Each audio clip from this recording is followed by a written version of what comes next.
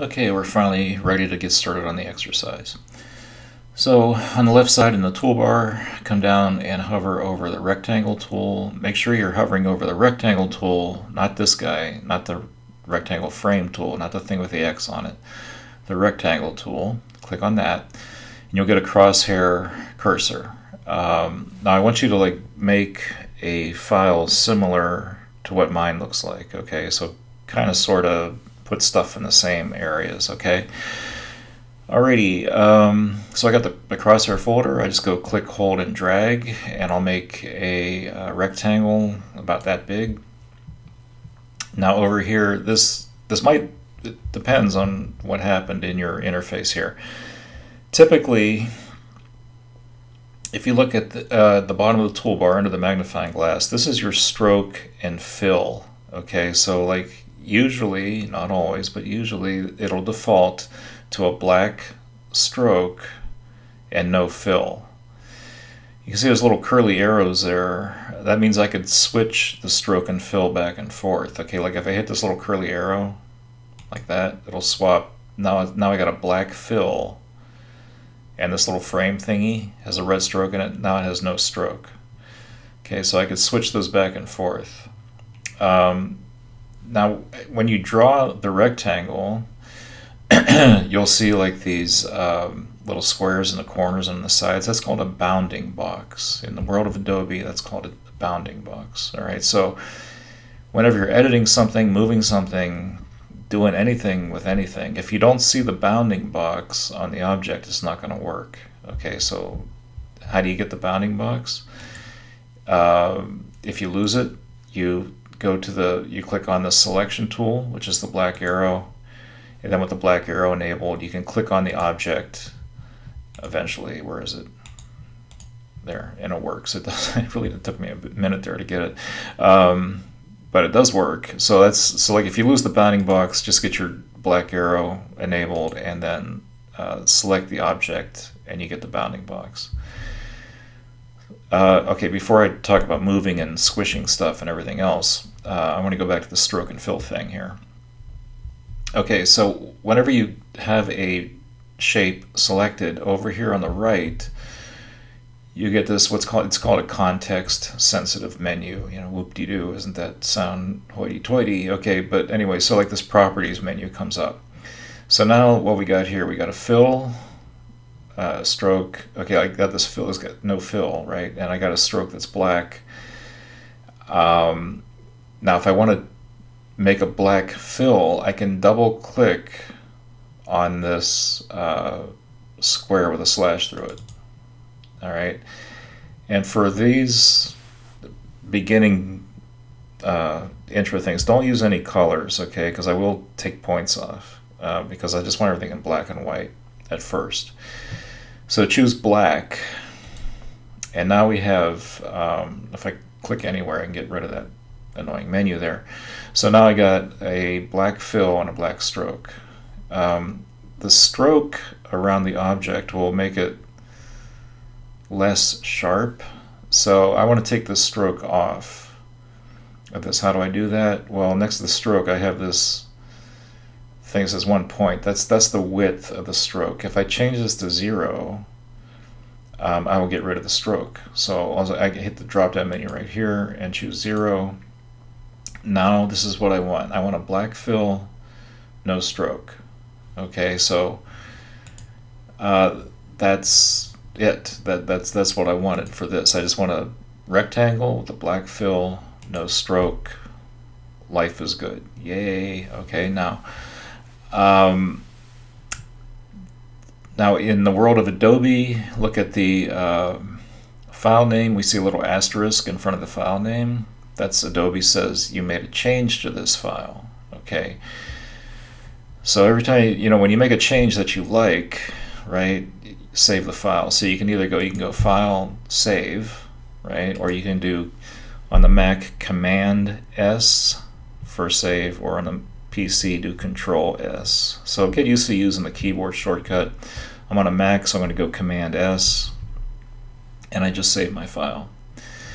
Another um, command keyboard shortcut you're going to use a whole bunch, a lot in your career is Command Z or Control Z. That that's undo. So, for example, let's say let's make another rectangle here. Okay, so click on the rectangle tool, make a rectangle, and you're like, well, I hate that. I don't want it. I made a mistake. So on a PC, do Control Z. On the on the Mac, do Command Z, and it undoes your last um, command. And you can go, you can Command Z or Control Z back a whole bunch. If I keep, if you keep it in Control Z or Command Z a bunch of times, all the stuff that you did will just start disappearing. You know, so just be aware of that. But it's really the Command Z, Control Z thing.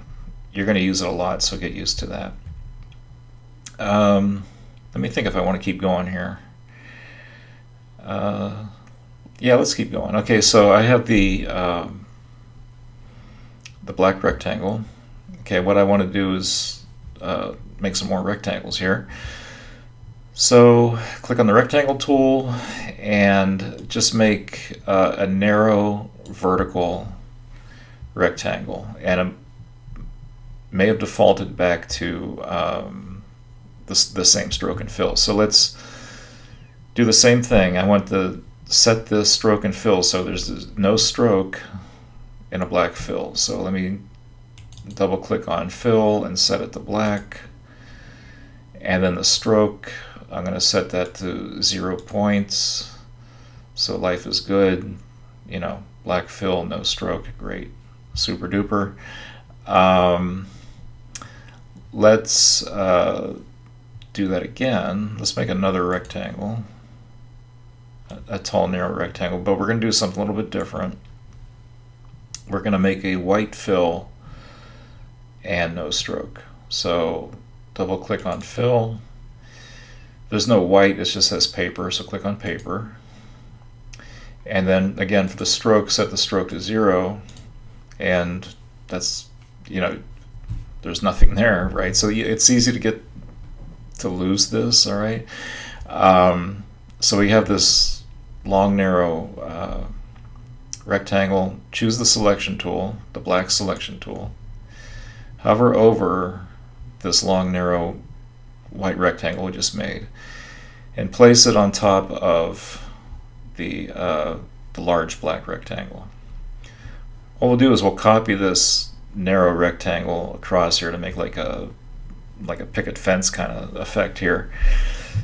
Now the way to copy stuff, we you have to see the bounding box. You can do a Command C or Control C, C for copy, Command or Control C, then Command or Control V, Victor, and it'll copy and it'll just like kind of randomly place anywhere on the canvas. So with your selection tool, you can grab and, and just move it um, next to your uh, the first one you made.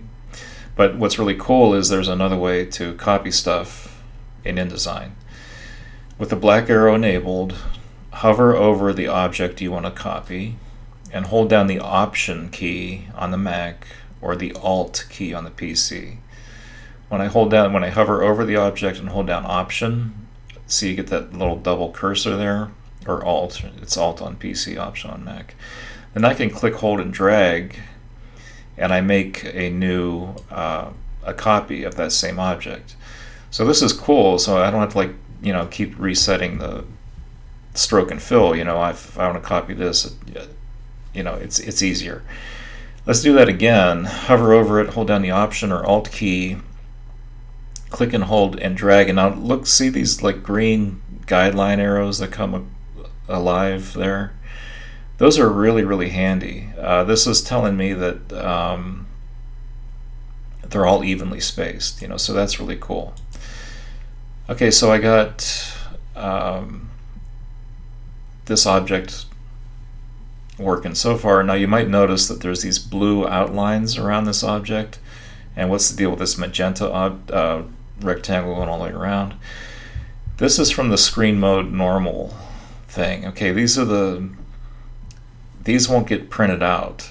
So if you want to see what what would this look like printed out on a piece of paper or what would this look like if it was published to the web, go to view screen mode preview, and that's this is what it would look like printed out or published to the web.